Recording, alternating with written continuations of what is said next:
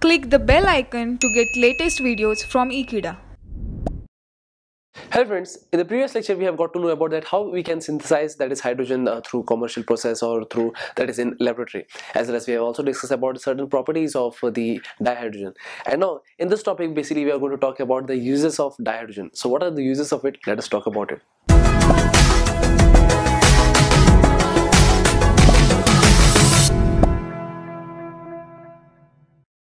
So here I'm going to talk about the uses of dihydrogen and what are basically uh, different uh, uh, applications while we could use hydrogen and that is what I'm going to talk about here. So let me explain it one by one. So let us discuss about the first point that I want to talk.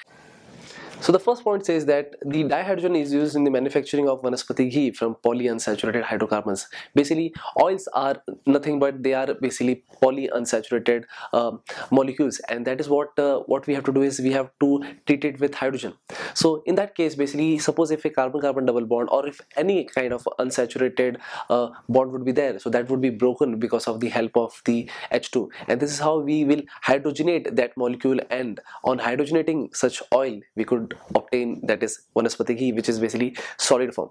While oil is the one which is basically in liquid form so while treating it with hydrogen uh, and with excess amount of hydrogen then we could uh, form that is uh, the vanaspati ghee. So it is used in industry so as to prepare this one. And now let us move on to the next point.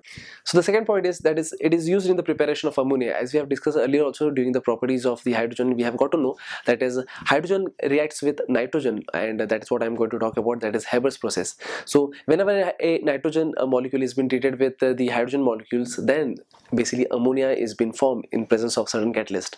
So that's the reason that ammonia that has been formed uh, and during this haber process that is not only used uh, just to uh, make a base but it is also as in chemical uh, reaction but it is also used in making fertilizers.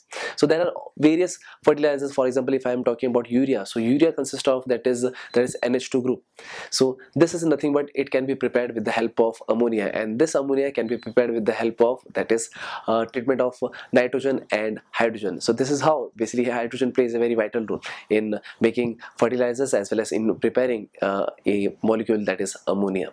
And there are also various applications as well as various uses of the hydrogen. So let me talk about that also. The next point is that is it is used to prepare methanol.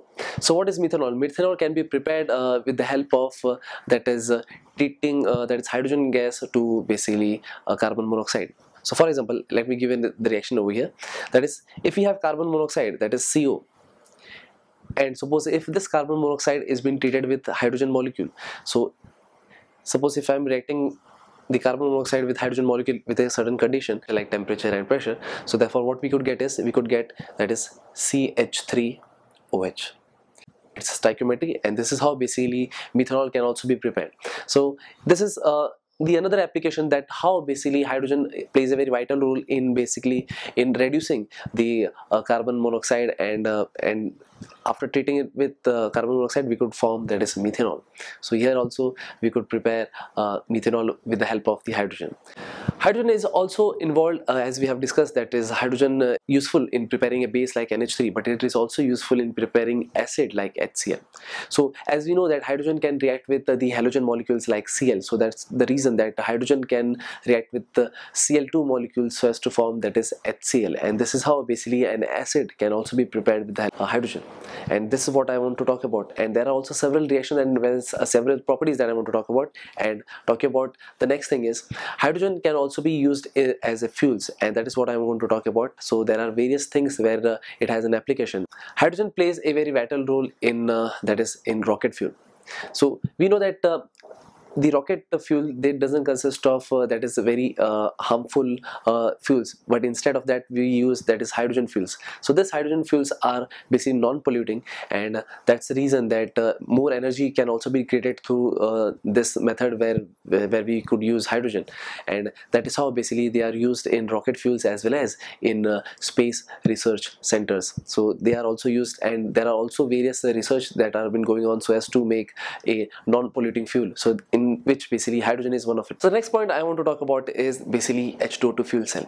So H2O2 fuel cell are basically it is widely used uh, in space research centers as well as in spacecraft where the uh, use of H2 and oxygen they are used in not only preparation of H2O but uh, and that is basically that H2 is can be used uh, for the space uh, researchers to uh, consume it while it also generates that is electricity. So in basically in H2O2 fuel cell we could generate electricity without any harming to the environment and that is how basically a clean electricity can be produced. So nowadays they are being used widely but there are also still research that have been going on so as to produce a very clean fuel as well as a clean source where we could get electricity. The next point is basically H2 is used in preparation of metal hydrides. So basically uh, metals like um, S block elements or there are also certain uh, that is uh, metals that are belonging to P block and the D block uh, uh elements. So they are very much uh, able to react with the hydrogen so as to produce uh, that is metal hydrides even this hydrides are being classified into various other groups. So this hydride this is the topic that I want to discuss in the next lecture but for now uh, let us understand that hydrogen can react with metal so as to form the metal hydrides and that has also various applications. So now let me discuss about the next point and in this case basically let me tell you that is H2 is used in metallurgical process so as to reduce the metal oxide to form metal. So the metals are obtained from the ore but what we have to do is we have to do certain kind of process so that uh, we could reduce or we could that is remove the oxygen because most of the metals they are formed in the form of uh, oxides so that's the reason that the metal oxides we have to treat it with hydrogen. So it can be treated with hydrogen so that the hydrogen would be very much helpful so as to remove the oxygen. And from there we could get a metal. And even the further process will be the metal would be purified and that is how we could get a pure metal.